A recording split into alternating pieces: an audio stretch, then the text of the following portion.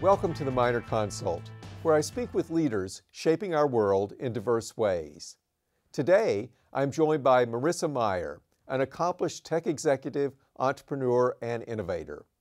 A Stanford graduate who specialized in artificial intelligence, Marissa was an early employee at Google, where she made her mark in the design and development of everything from Google Search to Google Maps. In 2012, she became the youngest CEO of a Fortune 500 company when she was appointed to head Yahoo. Following her tenure there, she co founded the startup Sunshine, which uses AI technology to organize personal contacts and communications. I'm delighted to welcome Marissa to the Minor Consult to discuss her experience at some of the world's biggest technology companies, her leadership insights from big tech, and her assessment of the greatest challenges and opportunities presented by AI. Marissa, welcome. It's great to have you here. Thank you very much for having me.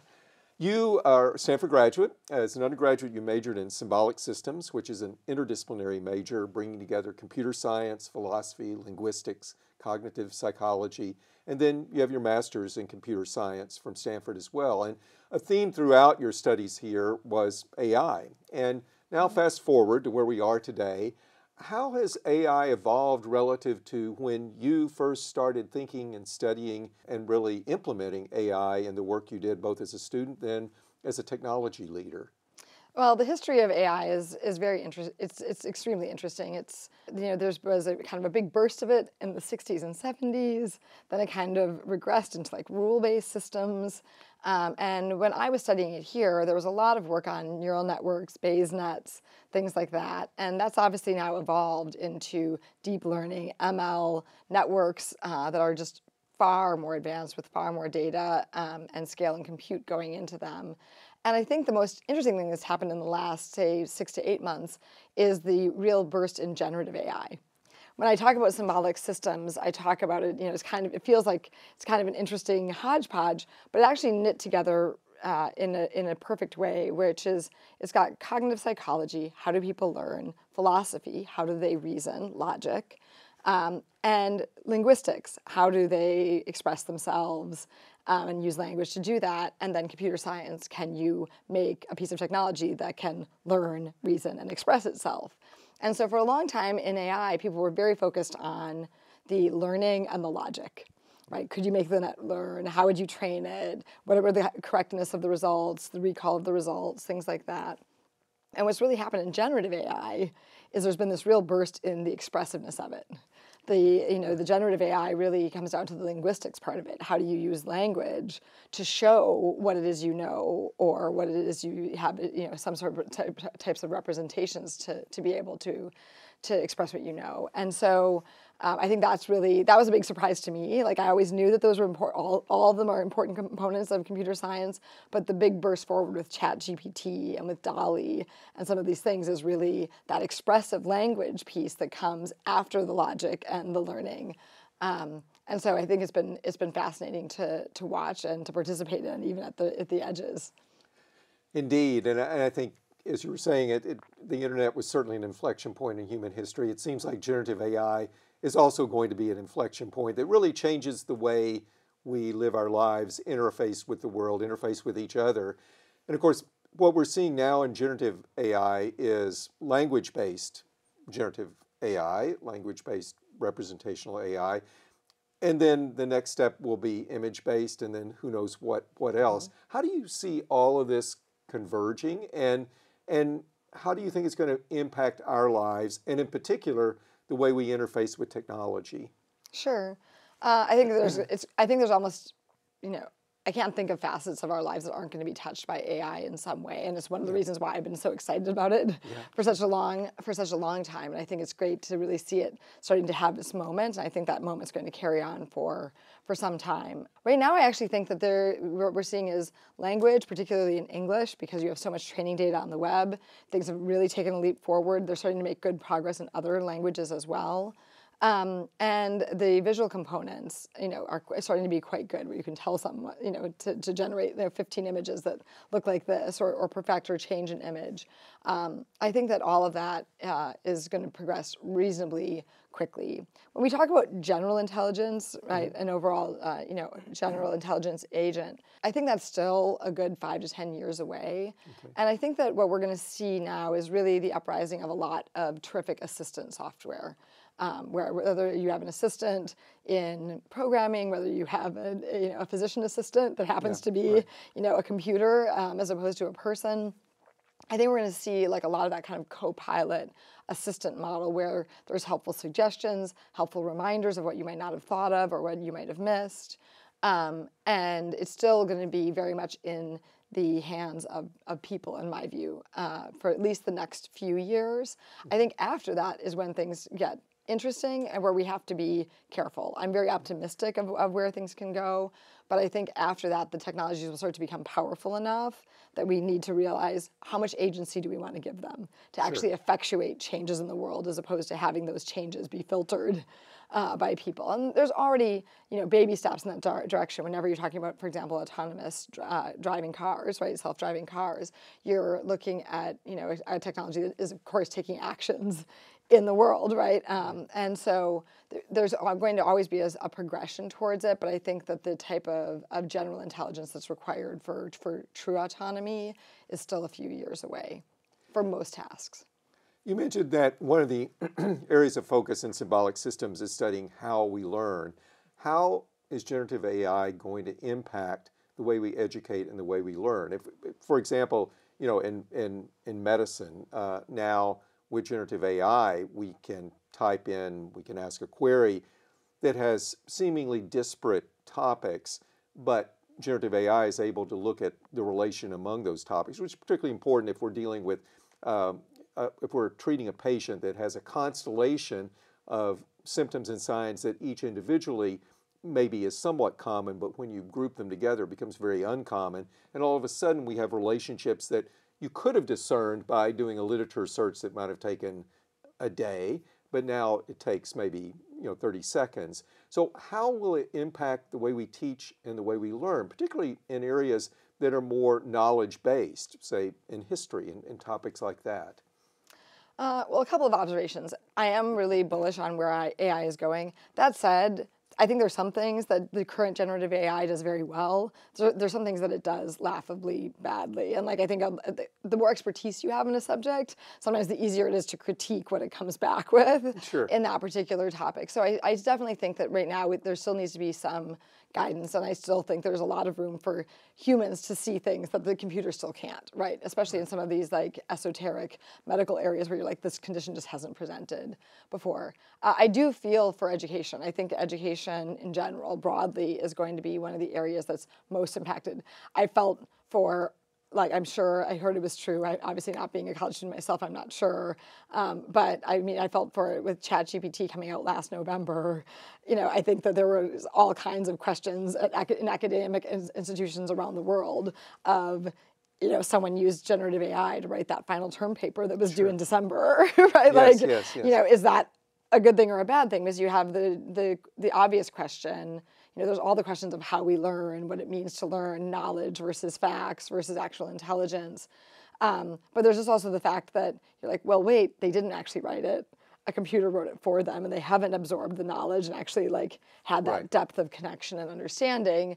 But at the same time, in terms of the future skill set needed, being able to operate these things effectively to get insights and express them this way is absolutely going to be, required of the future skill set of those students. And so, you know, I think trying to find that balance.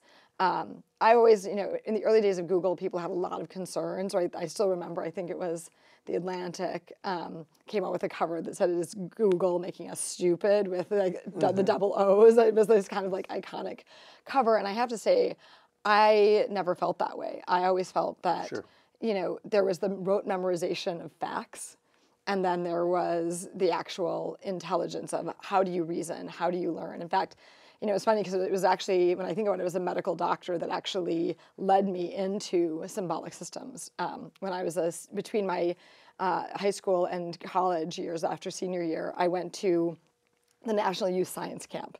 They bring back all these brilliant alumni, and there was a, um, a doctor who came from Yale, Dr. Zun Win.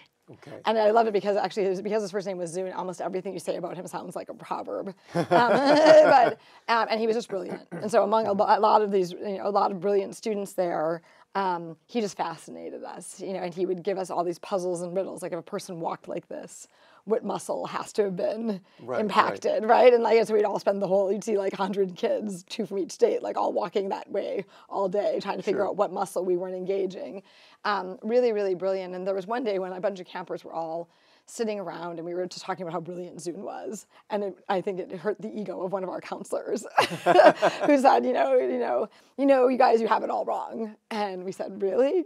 And he said, you know, it's not what Zun knows, it's how Zun thinks. Yeah. It's yeah. not necessarily the facts that he's remembered. Sure. It's the fact that you could drop Zun into a foreign country, a foreign subject, right? And within a few minutes, he'd be asking the right questions, drawing the right conclusions, putting together the right types of connections. So to me, when everyone was saying, oh, you know, you can look everything up on Google. You don't have to learn anything. It's going to make us all really stupid. I was like, no, I think the fact that you can retrieve facts and not kind of waste that brain space sure. on it, yet still be able to engage a lot of reasoning powers, I think that's still really powerful. I think with AI, obviously it's it's going to take now more more muscle and more determination over the long haul, not immediately, but over the, the long haul to make sure that people are really still, you know, learning, you know, some of the basic ways that you want to be able to reason and, and figure things out. Exactly. So if we go back to the early days of Google, you were employee, I think, number 20 at mm-hmm. Google, mm-hmm. and um, you helped build the company from scratch and had a major part in, in Google's rapid ascent to dominate search and so many other areas. What was it like uh, being in a, in a company that was growing enormously, uh, taking on bigger and bigger challenges um, with lots of new ideas, but also with a lot of need for execution and focus as, as things scaled? Can you walk us through those years at Google and how you grew as the company grew and how you helped and, and drove the, the growth of the company? Well, there was a great team there. So I was, you know, I was part of it, but there were, you know, the entire early team of Google, everyone brought something to the table. And I, I mean, I think that Larry and Sergey are remarkable leaders and visionaries. I think some of the first people they brought, I still am hard pressed to find someone who I think is smarter and or a better coder than Craig Silverstein, who was their first hire. Um, and there was a lot of terrific people. Um, mm-hmm you know, uh, and so I, uh, Urs Hölzle, who's a PhD from Stanford, uh, was our, was my first boss uh, as the VP of engineering and is still there today, leading a large part of technology. So there's a lot of really terrific people who were there at Google in the early years. And I have to say, um, it was exciting, it was intense, it was incredibly demanding, and I think that uh, we had the right leaderships and the right insights at the right time in terms of making the right decisions in terms of what to focus on, what deals to go after, how to grow, how to evolve the, the search engine in a way that met people's needs. Um, and I think we were all very bullish. We all knew that we were on something that was pretty incredible given the types of sure. orders of magnitude of growth we were seeing very quickly. Um, but I still will say, I think all of us, the, the entire early team, including the founders, have to be surprised at just how big it is. You know, Google is a great example of how consolidation occurs in the, in tech industry. Do you think that there will be similar consolidation around generative AI in terms of a dominant, uh, a clearly dominant leader, or is it going to be more more dispersed? I think it will be slightly more dispersed. I think that there's a couple of factors that come into play. One, these models are very expensive to build. Mm-hmm. Yep. Right, they're building $100 million models right now. I know of a few companies that are planning billion dollar models, and they, they're right now they're planning and working on the billion dollar model, but the $10 billion model isn't too far behind. So, in terms of pools of capital that can fund this kind of learning, you know, it's more than just one but it's not 100 Right. either, right? We're not going to build 100 $10 billion models. I, I don't, I don't think. Maybe we will over time, but certainly not present day. Um, and you need a fair amount of, of expertise and specialization to be able to actually successfully build a model of that size. So um, I don't think it will be infinite. I do think that there's room for half a dozen to a dozen players. Uh, and I subscribe to the theory that what we'll see is the, the knowledge, the type of reasoning they can do in the background um, will be largely commoditized. There'll be a lot of things that are the same, which by the way was the true it was true of search too, right? Like something like I would do we would do different analysis and somewhere between 95 to 97 percent of queries would have the same first result on Google and other places, or the results would be 97% the same. It's that last 3%, which it turns out, you know, that's, you know, a lot of people do 30 searches a day. And if one search out of that 30 is markedly better, that builds a lot of staying power, sticking power, confidence in your tool. Right, If you think of it as like a medical tool where you're like, wait, 3% of the time I get a markedly better outcome, you might say, well, it's only 3%, but that starts to really add up um, Sure. over time. And so I do think that like there will be largely commoditized, and then there'll be the personalities that interact with you because uh, more and more as these uh, technologies suggest writing for us, suggest how we are going to express ourselves, represent us into the world, you're going to want to feel really comfortable with the way this AI talks to you, the way it talks on your behalf uh, and interacts. And so I think over time, that you're, what you'll see is um, an evolution towards, you know, people will be like, oh, like I like Google's agent. Oh, I like Microsoft's agent. Like, oh, I like, you know, ChatGPT or like, you know, some of these other agents where they'll be like, this, I like the way that this assistant assists me and I like the way that this, you know, technology interacts with me and on my behalf. Right, right. And then in 2012, you moved from Google to Yahoo. And uh, Google, you were involved in building the company from the very, very earliest stages, employee number 20. Moved to Yahoo, which was already an established uh, company. Can you talk about that transition and uh, talk about your, your years at Yahoo and, and looking back on them? Um, you know, what you're, you're most proud of in terms of uh, Yahoo's expansion, its activities, um, and what you learned from your experiences at Yahoo. Sure. Um, well, there's a couple of things I learned about myself in, in and right before that transition. One is that I really loved learning. I had done, I had led Google search from the product development side for about 10 years. Mm-hmm. And then I had always had Google Maps in my purview, but I went over and managed the product side as well as the engineering marketing side, basically managed it as a business unit. I moved over to Google Maps. Mm-hmm. And that process really awakened me to how much I hadn't been necessarily learning in search. I had done it for so long. I Right. knew where it was going. We were leading the field and like coming up with features and ideas of what was getting implemented and what was shaping it. That it was fun it was exciting and you know prob- it was prob- probably much more productive. But taking a step over to really focus on maps and wondering like why does aerial imagery in Sweden cost so much more than it does in Norway? It has to do with cloud cover. Things like that that you just okay. learn, right? Yeah, like, yeah, You know, and you're like, I was, I was like, wow, I'm just learning so much more each day being in this new domain, taking obviously knowledge that I'd already learned and things that I'd been working on kind of on the side for some time. uh, that I was like, wow, like I really, I love being a student. I love learning things. I want to learn more. And the other thing is, you know, I had children relatively late. My first child was born at Stanford Hospital in, in 30, when I was 37 years old. Um, and be having children relatively late, I remember having this kind of conversation with my mom where she talked about, you know, there's times where people will say, oh, that was my favorite age of my children. And as a mother, she was just like, you know, I always felt bad for those people because, you know, if you really love four year olds or you really love seven year olds, eventually you have a five or an eight year old and that moment has passed. And she said, I just have to say, I loved all phases of my children. She's like, everyone was better than the last. And I have to say, as a mother, I feel the same.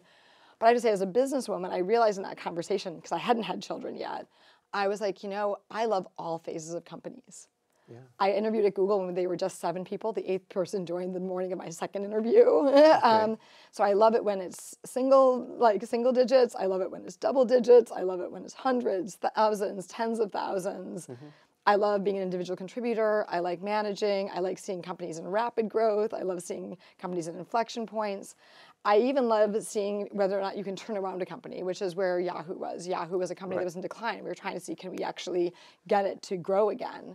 Um, but I realized, just like you know, some parents enjoy every phase of, of childhood, I enjoy every phase of companies. And so when the Yahoo role was presented to me, I have to say, at the time they came to me, I was 24 weeks pregnant uh, with my first child, and I was already planning. I was planning on launching Google Maps on iOS, uh, like Yeah, sure. right, like um, app, we were in a big, locked in a big battling competition with Apple around uh, Apple Maps. We Sure. knew that was coming in September. We were trying to get Google Maps on iOS. Um, uh, out in October. I had my maternity leave planned. And then there was this opportunity to go to Yahoo, which was a company, you know, in the early days of Google, we aspired Sure. to be like Yahoo. We were thrilled, right? The biggest party we ever had at the company, even relative to our small size, um, was with the, with the day that we got the, the Yahoo contract Yes. uh, and started powering Yahoo Search. And so it was a company we had always looked up to, always admired. And it was a lot of what I had done, but applied in a new way, right? And so it was search, maps, email, uh, news, all these different pieces that I had worked on. Um, and I really wanted to see, I wanted to have that learning experience. Sure. And perspectives on on your time at Yahoo and and and Mm-hmm. the contributions you made and and the impact. Sure, I think that there's there's a lot of good there. I think that um, we did get parts of the business growing. We grew a new line of the business. You know, we had about a five billion dollar business. We grew a two billion dollar business from scratch on mobile there, which was um, was hard work uh, and a big success. I couldn't be proud of the team that we built because that team, the people there were terrific, and what they've gone on to do, what they did there, really, really, really remarkable. Obviously, we wanted to return Yahoo to its greatness. We wanted it to be, you know, Google, Facebook, and Yahoo, and that's not the the outcome that that we ultimately got. But I do think it's very hard to find like a product when you've already got a base of five billion dollars of revenue. Right. Finding a new product that can replace it and and deliver the type of growth that consumer technology can on top of that. Um, you know that's uh, you know that's very that that's a big challenge, and we I'm proud of how we did. I wish we could have gotten it to a different outcome. Um, but overall, I think that the for me a lot of what drives me is the impact on users' lives and the people who like benefit from the technology. And I think that you know overall the product line was in great shape. I had a great compliment from uh, Jerry Yang right at the end of my tenure, where he was like, you know, he's like, I just don't think the product line has ever looked better and worked better for people. And I think great. that you know when you look at it from that perspective, and financially it was a big success, largely because of Alibaba. But we got a really good outcome there in terms of you know that partnership and just managing that financial stake in a way that really delivered a lot of value. That's wonderful. If we maybe turn to a topic that's on a lot of people's minds today, and that is the regulatory impact, the appropriate role of regulation uh, when it comes to tech in general, but in particular as we think about AI. What principles, because this is something you have interacted with, dealt with in your leadership roles, Google, Yahoo, and certainly in your startups as well, what principles are in your mind that should guide society writ large and the government uh, in thinking about the regulation of tech, both now and in the future, given the rapid ascent that we're likely to see in, in generative AI and its impact, as you spoke about before? Uh, yes, well, I think the big, the big first and foremost thing is I think we have to take a human-centered view, which I was involved with the launching of the HAI Institute here, so that's no surprise. But I, I do think Stanford has taken the right view on that. That there's a lot of ways that this technology could go, but I think if we put humans at the center of the decision making in terms of what is ethical, what should be pursued, how do we pursue it, how do we actually make people's lives better with it, I think that human-centered view is probably the the largest and overriding principle. Um, in terms of the regulation, I think it's going to be very challenging. Yeah.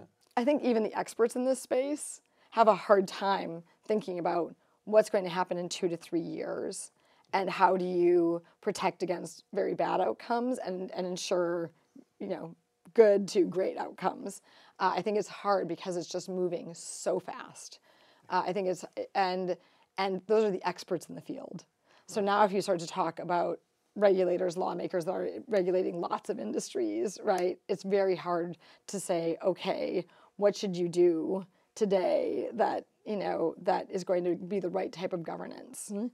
and regulation for this technology um, two or three years from now. And right now, a lot of the focus is on uh, the companies' rivalries, Microsoft versus Google. And I think that actually misses the bigger picture is that there's other countries, China in particular, who are going to be developing this technology as rapidly as we are. I think right now we're modestly ahead. Mm-hmm. Um, I don't know how long that sustains. Um, and they are going to have a very different view in terms of what to build, how to build it, and how to deploy it. Uh, and so I think that we need to be really careful that our regulation and you know even the debate on how to regulate doesn't set us back. Right. Right. right. Where if we say wait, you know, there's a rule that came into play and it ultimately really curtailed the speed with which these technologies are developing, that could be very bad because it could mean that the human-centered technologies, much of which I would argue that most of the companies in the U.S. are are taking a human-centered view mm-hmm. to this, actually end up being in second place to you know technologies developed overseas and so i think that is something to to approach with some amount of skepticism and caution.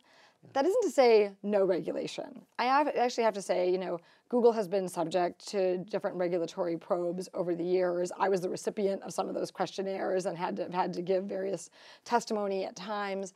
And i will i will say that i think that type of scrutiny is helpful. Yes. Right in the face mm-hmm. of a new technology. It, you know, at the time I remember being like, oh, you know, it, it definitely feels cumbersome and burdensome. But I think that with this kind of responsibility comes, you know, a certain level of scrutiny that's that that makes sense. And uh, so I'm not arguing for no regulation. I'm just arguing that I think that we have to be careful, thoughtful. We have to take a human-centered view and a future view. You, you mentioned the human-centered view, and it seems that that's so important also at, at building, or might say restoring trust of the public in uh, technology in general, but specifically uh, in AI, because as you mentioned, the field is evolving so quickly. How can we, versus an academic institution, as companies, how can we communicate the opportunities and the challenges to the public and engage the public in the type of discourse that's going to be necessary to, to restore trust, which ultimately the regulators are regulators are driven by public sentiment, public opinion, and and so that's going to be really important, I think, in getting responsible regulation as well. So, what are some of the, the things that we should be keeping in mind uh, at restoring and, and sustaining trust in the future? Uh, I think that when people start to see the results of things and they see what they're empowered to do, it sure. changes perspective. People are willing to give up a lot of liberties or a lot of freedoms in exchange for, you know, great, you know, great opportunity. Uh, and I think we've seen this historically on the stage. It's interesting if you go back to the, I think it was the early 1920s. Uh, when they rolled out social security numbers, literally there's lots and lots of articles saying, you know, this might be used as an identifier, right, right to actually identify you. Um, right. And th- there were absolutely like treatises written reassuring people that no, this will never be used as a unique identifier for you as a person. Right, right, right. Okay, right, right, Like, and like, and now you just laugh like that's just absurd. Like, of course that's sure. what it would be used for, and it's actually quite useful. Right, right, right. Like getting access to Social Security, being able to be like accountable for your taxes in the right way, like all of those types of things right? Being able to make income, all of that is extremely useful, and, right. and a social, social security number unlocks all of that. Same thing with the driver's license. You go, you go, you submit yourself to a test, a driving test, you know, eye test, you know, all of these different things. Yeah. Um, you say where you live, you say your height, your weight, your eye color, your hair color, but being able to drive people are like, okay, sure, like sign me up, right? Uh, and it was interesting in a parallel, much smaller um, at Google we really wanted to store the queries people had done and the clicks they had done mm-hmm. for as long as possible. We realized that people would probably want it anonymized. No one wants to be able to like, you know, have a company be able to pull up the search they did 20 years ago. Um, so we were doing some level of anonymization, and it was I have to say at the time it was very controversial. You know, some of our competitors realized that we were keeping these logs, and they were like, "Why do you need the logs?" And then it became a, it became a big brouhaha. Um, and then we rolled out Google Spell Check, This was like, I think, in something like 2000, 2001. And it was the best spell correction anyone had ever seen because it didn't just take rote dictionary words and correct them, right? I remember the classic example we had was um, TurboTax would always get corrected in other search engines to Turbot Axe because turbot isn't turbot, it's turbo, it's a French fish, sure. an axe, and right, and so you'd be like, but wait, like something that actually understands the lingo and isn't just working off a dictionary should understand TurboTax is a thing, especially in April, right? Right, and they were like, and it could actually, it was fixing misspellings of names, everything else, because what we were seeing was someone would type a query incorrectly, and the next query they would do was that query corrected. Right? Yes. It didn't matter if it was names or brand names or what have you. And then people were like, well, like if you get this kind of spell correction, I can get this kind of accuracy in my search that much faster. And then later we did predictive search and other things using that. That's really useful. So don't keep the logs forever, but you know, keep them for 18 months, anonymize them, right? Some protections, but it unlocks that. And I think that as we start to look at how AI evolves, that is that kind of early proof points that are needed. Mm-hmm. There's so much more powerful things that Google went on to do with those logs than the spell correction. Sure. But an early, simple, easy to understand, kind of the proof is in the pudding yeah. moment really does cause people to have a lot more confidence and a lot more trust. And I will say that's something that we're working on at Sunshine. I've, we started the company, we joke that we call it Sunshine, but we probably should have called it Mundane AI, right? Because we are like, everyone is busy out on the, on the outskirts, okay. driving cars, global facial recognition, things that make people uncomfortable. And you're like, yeah, there's everyday tasks managing your contacts, remembering, you know, important days or, you know, getting prepared for, for, for different things, um, scheduling, yeah. that you know, this intelligence could, is would be much better at than humans are yeah. currently. And if you yeah. apply it to some of these everyday problems that are still sticking points for people, people say, "Oh, like is this what it can do?"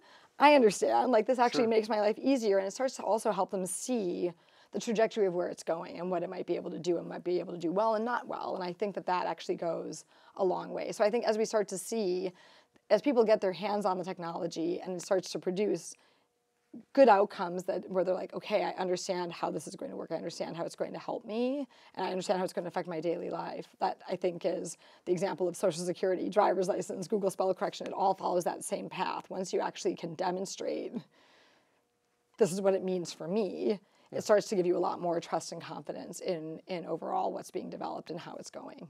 What's your goal for Sunshine? When will people be able to start seeing uh, the effects of what you're innovating at the company and, and mm-hmm. implementing it in their daily technology lives? Well, today we have our first app. We most of the things that we're interested in have to do with people's relationships, events, groups, scheduling, and that all starts with contacts.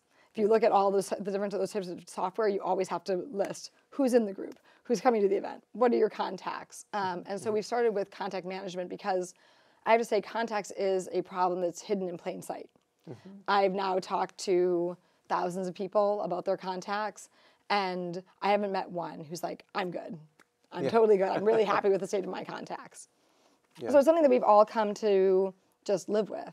But yep you actually can end up with much better contact system. So it's available in the App Store. It's also available on Android, Sunshine Contacts. And for us, that's the foundation of what we wanted to build because then we can build a lot of interesting things on top of it that ultimately help understand who's a colleague, who's a friend, who are you close to, you know, how do you get in touch with them? And as you start to, we start to build some of these other technologies that, again, are kind of everyday technologies uh, we have a really great foundation of, of an understanding of how to get in touch with people and why you would want to and how you would want to. That's fantastic. Well, Marissa, this has been a wonderful conversation. I'd like to close with two questions that I ask every guest. First, what are the most important qualities of a leader today? Uh, I think that leaders have to be learners. So you have to be committed to always learning new things. Even you know, we, we, I was joking with some other uh, entrepreneurs that in the pandemic we all had to become epidemiologists, right? like, sure. right during the banking crisis last year, we all had to become experts in like the in like the financial system, and you know, it's constantly demanding the the increased expertise. You have to be able to talk to your team and about what's happening in the world, and so you have to be more and more general, or you have to be really committed to being able to learn something and learn something quickly and really get you, getting your hands around it. So I think learning is incredibly important. I think listening and empathy are, will always be things that are incredibly important to being to being a strong leader and providing leadership that people really trust. Wonderful. And finally, what makes you optimistic about the future? Uh, I'm I'm an optimist by nature, but I always just think if you if you look at you know how humanity has progressed over time, things just get generally better and better. And it's not necessarily a linear path, but over time, outcomes from health to education um, to you know poverty, ev- everything is actually seems to be moving largely in the right direction. Sometimes not fast enough, right. but generally overall in the right direction. So I overall am, am a believer in innovation and technology and just so the overall progress that, that humankind has made. Wonderful. Well, thank you so much for joining me today. And thank you for listening to the Minor Consult with me, Stanford School of Medicine Dean Lloyd Minor. I hope you enjoyed today's discussion with tech executive, entrepreneur, and innovator Marissa Mayer.